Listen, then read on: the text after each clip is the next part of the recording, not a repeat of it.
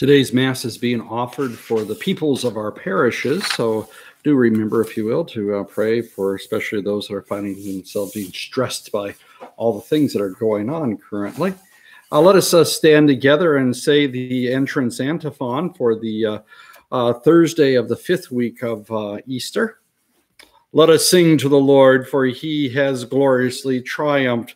The Lord is my strength and my might. He has become my salvation. Alleluia.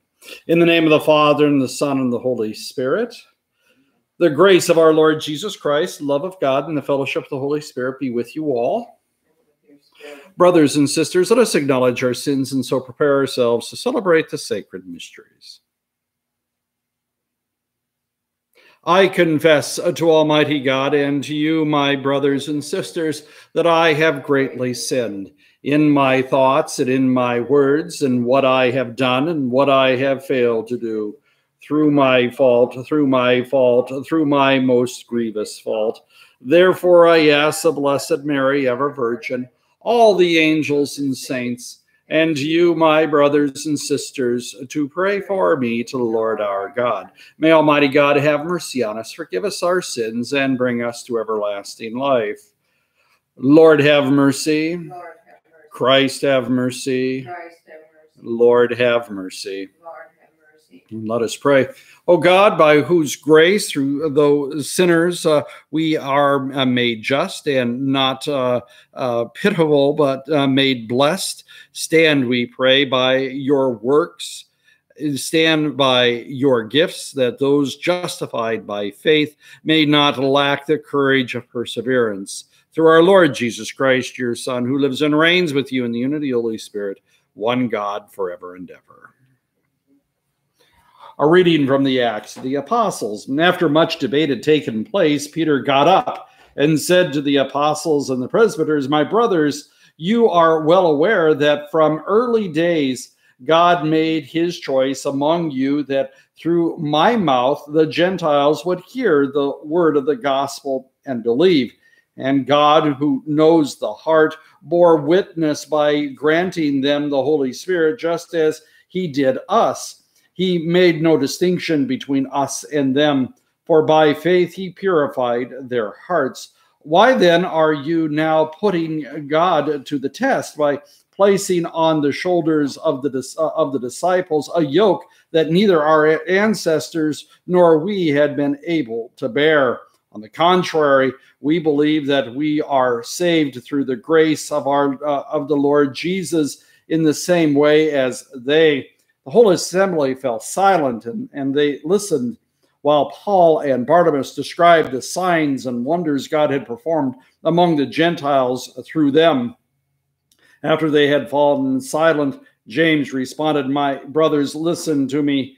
Simeon had, uh, has described how God first uh, concerned himself with acquiring for, from among the Gentiles a people of his name the words of the prophets agreed with this, as it is written, After this I shall return and rebuild the fallen uh, hut of David. From its ruins I shall rebuild it and raise it up again, so that the rest of humanity may seek uh, out the Lord, even all the Gentiles on whom my name is invoked.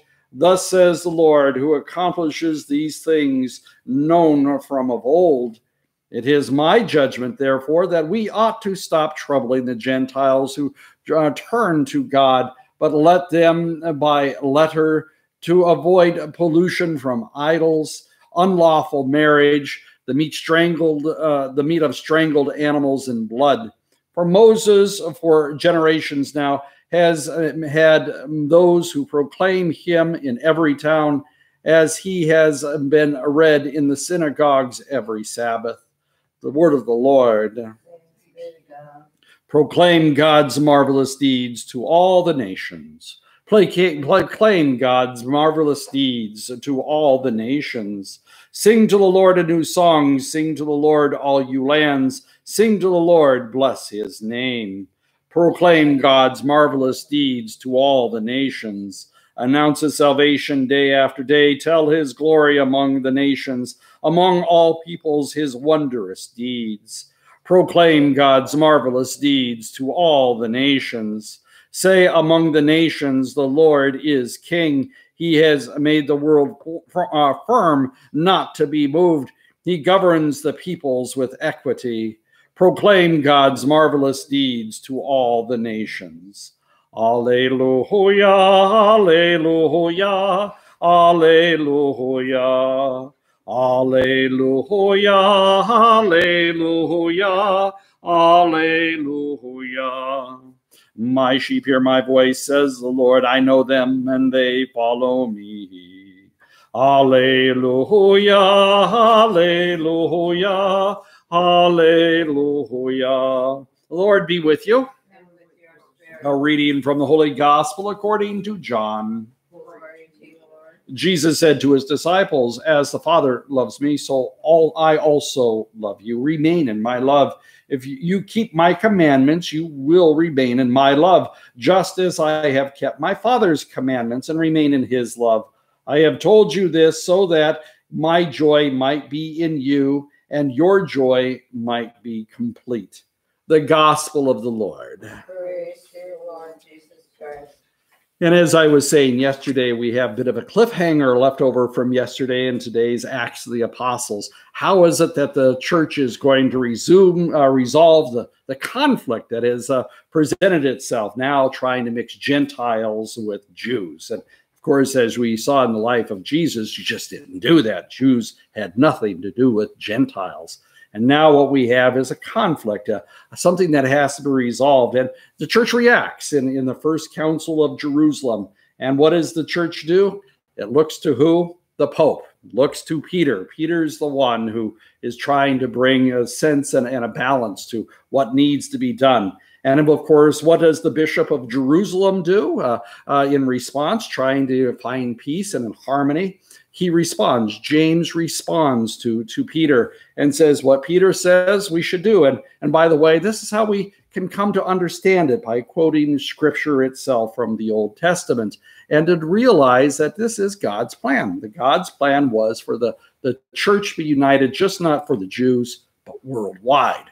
And now what we do with the council of jerusalem is to hear what uh, uh, we have James saying, you know, you need to write a letter. Let's go ahead and write a letter. Another word for a letter is an epistle or also, uh, you know, a, a, document that that comes from uh, an apostolic source. It comes from the apostles themselves. So now what we have is just like Vatican II. We have all these documents and constitutions and and suggestions that are being written by the apostles, the magisterium of the church. And what does it say? Avoid unlawful marriage. So I always love it. I always love. It. How can the church get in people's bedrooms? Why are they getting into in people's bedrooms? They have no business to be in people's bedrooms. Well, I have some really good news for you. and something probably really shock you. The church has been in people's bedrooms from the very beginning, right here at the Council of Jerusalem. And it says you have to avoid unlawful marriages. You have to marry the way that the church and the way that Jesus Christ teaches us to marry.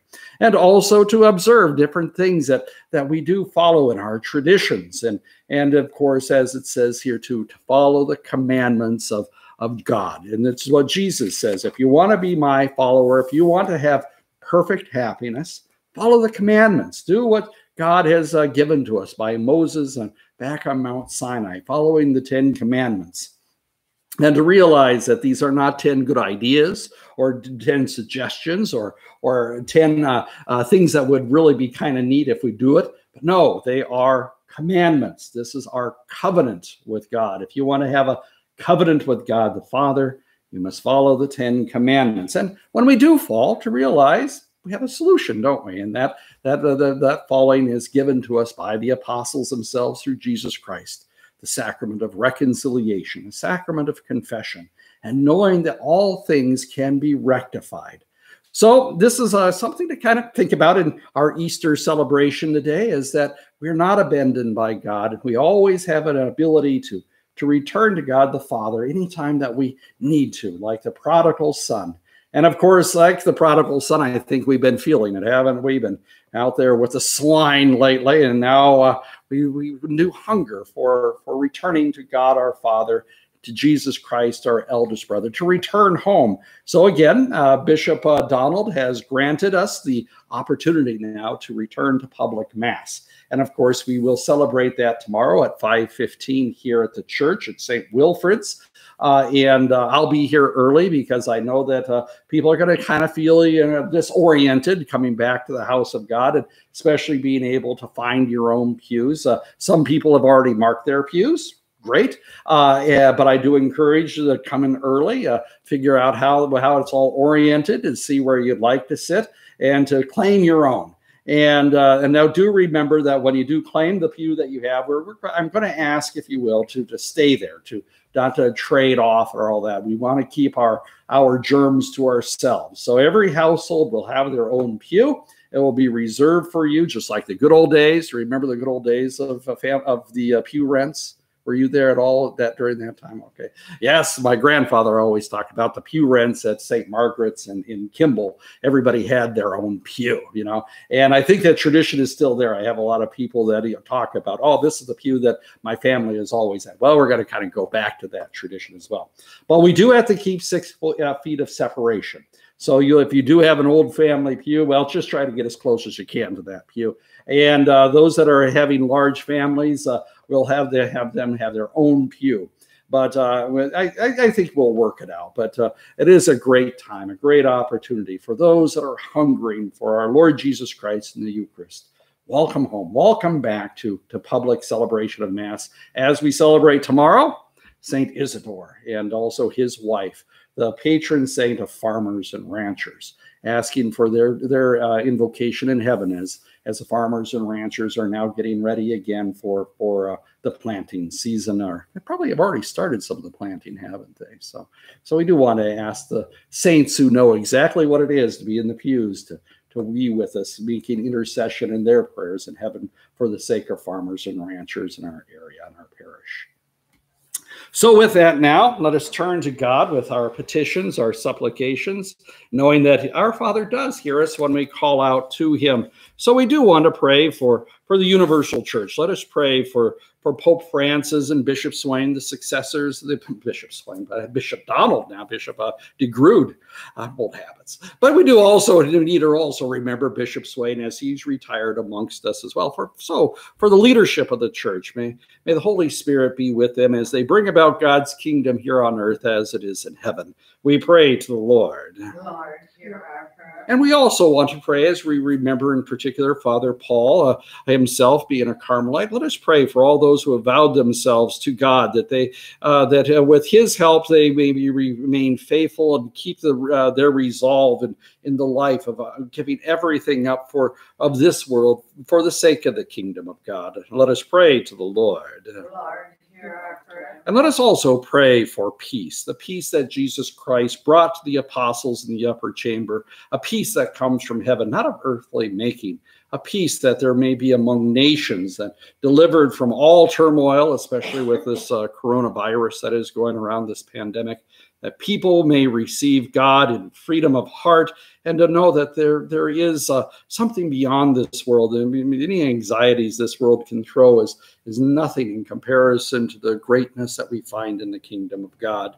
Let us pray to the Lord. Lord, hear our prayer. And we do want also pray for the elderly who suffer from isolation and, and also the potential of sickness too. I'm sure that they're feeling very, very concerned, uh, being very vulnerable to this uh, this uh, virus. That they may be strengthened by our love uh, of them as, as our brothers and sisters, especially as we do want to take care of uh, being uh, not uh, near them, especially if they can be contaminated by by this little uh, uh, this little bug, this invisible little bug that threatens lives. We pray to the Lord. Lord, hear our prayer. And also for ourselves, not only just gathered here, but also those that are uh, in throughout our entire parish communities that God may not uh, cease uh, to sustain us with things that of this life uh, uh, that we may know uh, how to use them in, in such a way that they may be uh, hold now uh, forever now the things that endure in in the uh, for heaven and for the sake of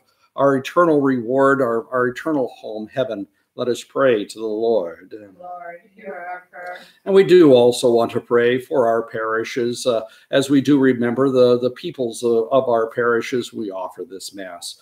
So let us now turn to God in the silence of our hearts with those petitions that are dearest to us.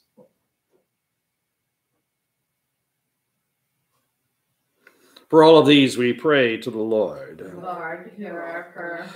May your mercy, we beseech, O Lord, be with your people who cry to you, so that what they seek at your prompting they may obtain by your ready generosity through Christ our Lord.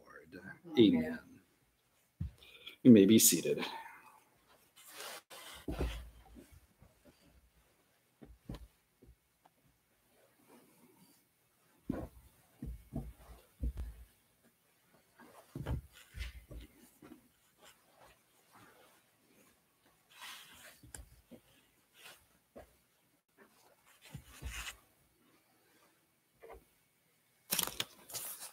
Blessed are you, Lord God of all creation, for through your goodness we have received the bread we offer you, fruit of the earth and work of human hands, will become for us the bread of life. Blessed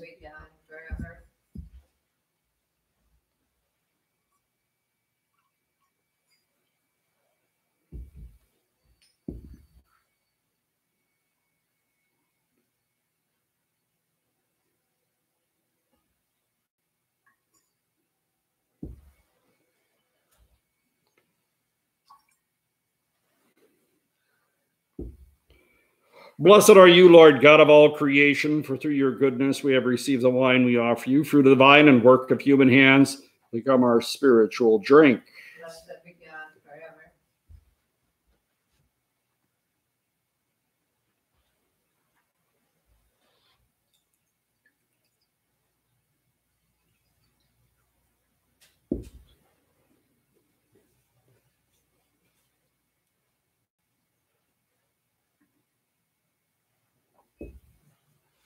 Pray, brothers and sisters, that my sacrifice and yours may be acceptable to God, the Almighty Father. May the Lord accept the sacrifice at your hands for the praise and glory of his name, for our good and the good of all his holy church.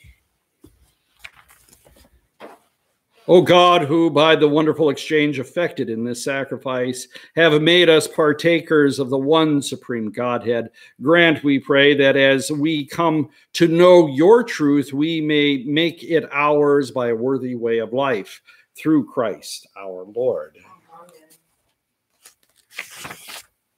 The Lord be with you. With. Lift up your hearts. We lift them up to the Lord. Let us give thanks to the Lord our God. It is right. It is truly right and just, our duty and our salvation at all times to acclaim you, O Lord, but at this time above all to laud you yet more gloriously when Christ our Passover has been sacrificed. By the oblation of his body, he brought the sacrifices of old fulfillment in the reality of the cross, and by commending himself to you, our salvation showed himself the priest, the altar, the lamb of sacrifice. Therefore, overcome with paschal joy, every land, every people exults in your praise, and even the heavenly powers with the angelic hosts sing together the unending hymn of your glory as they acclaim. Holy, holy, holy Lord, God of hosts, heaven and earth are full of your glory. Hosanna in the highest. Blessed is he who comes in the name of the Lord. Hosanna in the highest. You are indeed holy, O Lord, the font of all holiness. Make holy, therefore, these gifts, we pray, by sending down your Spirit upon them like the dewfall, so that they may become for us the body and blood of our Lord Jesus Christ. At the time he was betrayed and entered willingly into his passion, he took bread and giving thanks, broke it, gave it to his disciples, saying, Take this, all of you, and eat of it, for this is my body, which will be given up for you.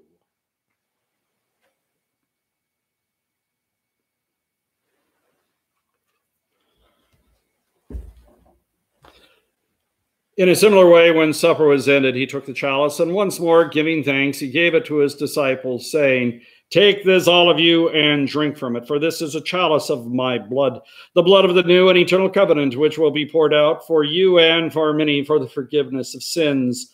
Do this in memory of me.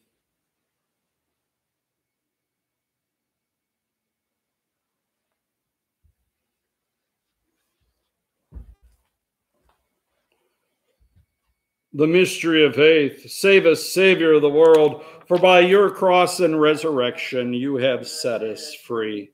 Therefore, as we celebrate the memorial of his death and resurrection, we offer you, Lord, the bread of life and the chalice of salvation, giving thanks you've held us worthy to be in your presence and minister to you. Humbly we pray that partaking of the body and blood of Christ, we may be gathered into one by the Holy Spirit. Remember, Lord, your church spread throughout the world and bring her to the fullness of charity, together with Francis, our Pope, and Donald, our Bishop, and all the clergy. Remember also our brothers and sisters who have fallen asleep in the hope of the resurrection, and all who have died in your mercy. Welcome them into the light of your face. Have mercy on us all, we pray, that with the Blessed Virgin Mary, Mother of God, with the blessed apostles, with the blessed Joseph, her spouse, with the blessed apostles, and all the saints who have pleased you throughout the ages, we may merit to be co heirs to eternal life and may praise and glorify you through your Son, Jesus Christ.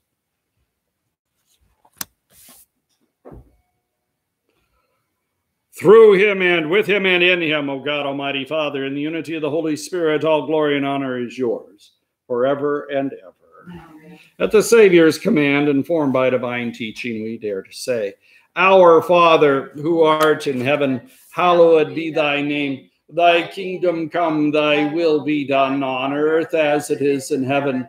Give us this day our daily bread and forgive us our trespasses as we forgive those who trespass against us. And lead us not into temptation, but deliver us from evil. Deliver us, Lord, we pray, from every evil. Graciously grant peace in our days, that by the help of your mercy we may be always free from sin and safe from all distress, as we await the blessed hope and the coming of our Savior, Jesus Christ. For the kingdom, the power, and the glory are yours, now and forever. Lord Jesus Christ, who said to your apostles, Peace I leave you, my peace I give you, look not on our sins, but on the faith of your church, and graciously grant her peace and unity in accordance with your will, who live and reign forever and ever. Amen. The peace of the Lord be with you always. With. Lamb of God, you take away the sins of the world. Have mercy on us. Lamb of God you take away the sins of the world, have mercy on us. Lamb of God, you take away the sins of the world, grant us peace.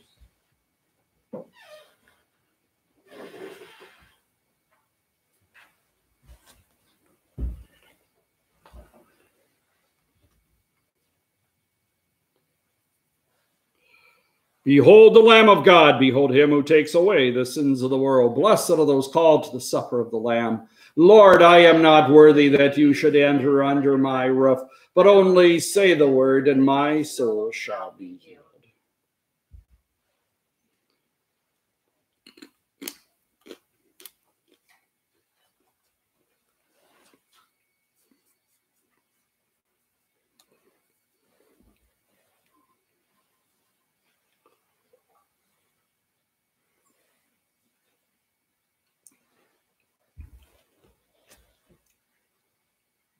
And again, if you look at your uh, word among us or living with Christ, let us say together the communion antiphon.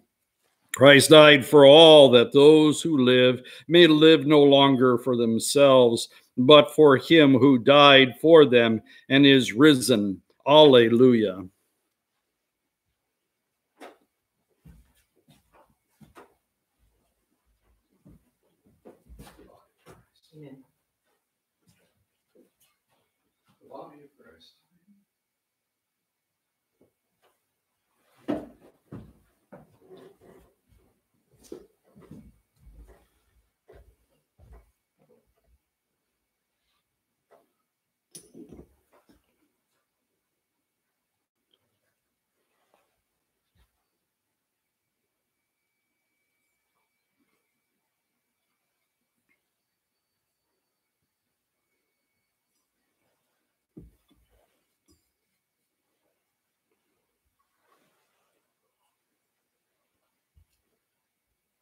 And again, in your charity, if you will, do remember to pray for the peoples of our parishes when we offer this Mass today.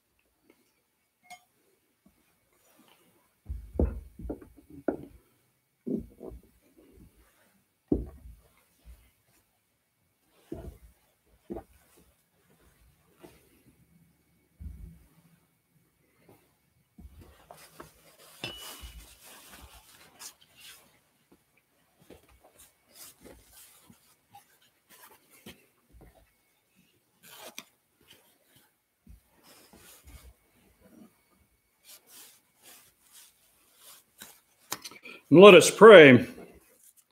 Graciously be present to your people, we pray, O Lord, and lead those you imbued with heavenly mysteries to pass from former ways to newness of life through Christ our Lord. Amen. It is a time of great celebration. So again, as I said in the homily here at St. Wilfrid's, 515 Mass, uh, I'll be here early to help people to kind of figure out where, where, where everything is. And then 7 p.m., 7 p.m. at St. Joseph, both Father Paul and myself will be celebrating the Mass there, 7 p.m. at uh, St. Joseph's in Wessington Springs. And uh, then, of course, the weekend schedule. Uh, go online to see the bulletin if you weren't able to pick up the bulletin. But we are going to be having uh, Mass in Artesian and of Mass in Duncan. Uh, and Father Paul will be doing the Mass in Duncan on Saturday. And then, of course, uh, 8 o'clock Mass is. Uh, uh, going, uh, to be at uh, Wessington Springs. I'll be celebrating that Mass. Our Father Paul, take I take that back. Father Paul is going to be doing Wessington Springs, and then 10 o'clock mass on Sunday here at St. Wilfrid. So uh, kind of getting back to a normal schedule. So I had put in the uh, mail uh, kind of the schedule and also the guidelines that Bishop Donald has set forth for us, and uh, we'll try to follow them. Uh, you know, I know there's going to be a little adjustments going on. So, uh, but I did get everything in the mail. Wessington Springs, you'll be getting yours in the mail tomorrow. It'll be in the mailbox tomorrow. Uh, but I already got well, Artesian all set up. Well, St. Wilfrid's is ready to go. Uh, I'll have uh, St. Joseph's done tonight. I'm going to go over there tonight to set up everything. And also the guidelines have been set out for Duncan as well. So spread the word. Spread the word. Things are coming back to normal. It isn't normal, but it's getting closer to normal than it was. The Lord be with you. And may Almighty God bless you, Father, Son, and Holy Spirit. Go in peace. Alleluia, alleluia. Thanks be to God. Alleluia, alleluia. Look forward to seeing everybody uh, uh, tomorrow if you can make it. And again, don't feel obliged. It's just a great celebration for farmers and ranchers as we celebrate Saint Isidore and his wife Maria.